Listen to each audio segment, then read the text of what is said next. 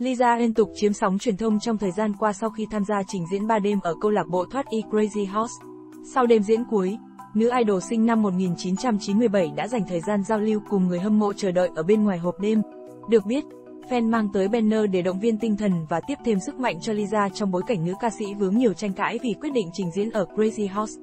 Đặc biệt, một banner bằng tiếng Thái nhanh chóng chiếm trọn sự chú ý của em út Hắc Hường.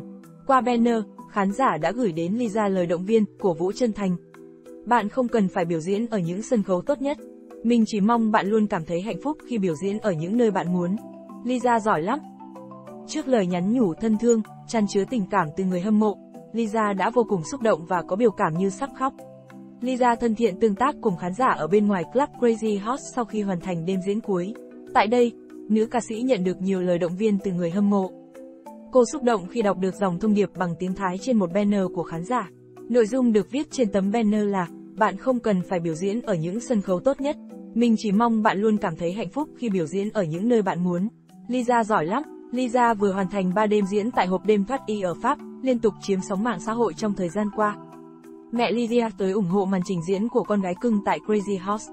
Được biết, mẹ ruột đã sang Pháp cùng nữ ca sĩ vào hôm 24 tháng 9, mang tới nguồn động viên tinh thần lớn lao cho cô trong suốt thời gian qua.